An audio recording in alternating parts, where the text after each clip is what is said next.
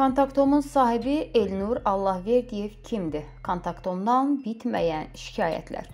Gündəlik Bakının araşdırma qrupu yenə maraqlı bir mövzuda çıxış edib. Araşdırmanın bu dəfəki hədəfi deputat Elnur Allahverdiyevdir. Öncə onu qeyd edək ki, hazırda Milli Məclisin üzvü olan Elnur Allahverdiyev vaxtilə Ayaz Mütəllibovun yaxın dostu və Heydər Əliyevin qatı əleyhdarı olan Marat Allahverdiyevin oğludur. İndi kim inanardı ki, onun oğlu Elnur Allahverdiyev 2020-ci ildə Ramiz Mehdiyevin siyasi üzrə deputat seçiləcək.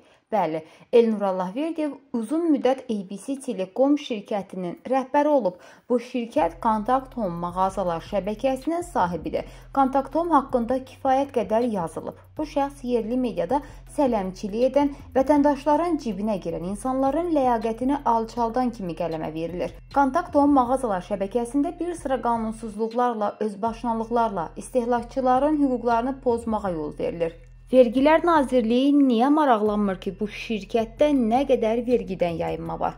Hazırda pandemiya karantin dövründə belə bu şirkət qanunsuzluqlarından geri qalmır. Deputatın özü ilə əlaqə saxlayanda isə bircə cümlə deyir: "Mən o şirkətdə çalışmıram.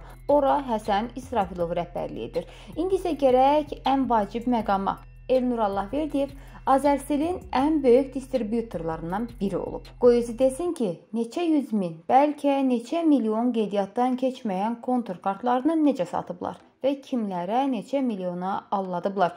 Bu barədə ciddi araşdırmamız olacaq deyə sayt iddialı yazısında bildirib.